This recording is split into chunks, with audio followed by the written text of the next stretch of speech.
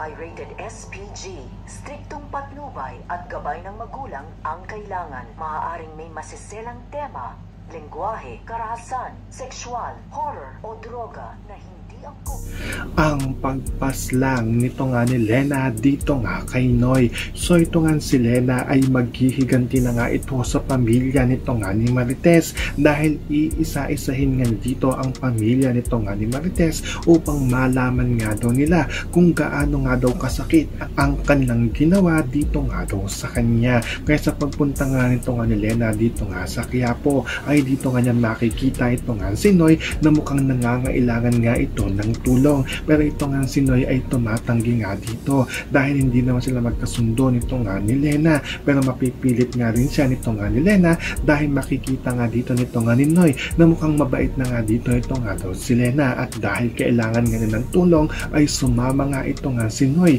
dito nga kay Lena. Kaya dito na nga isasagawa nito nga ni Lena ang kanyang pagpaslang dito nga kay Noy. So pakakaabangan nga natin dito ang pagpaslang nito nga ni Lena dito nga kay Noy. Yan ang ating mga pakakatukan at pakakaabangan dito nga lang sa FPJ's Batang Quiapo.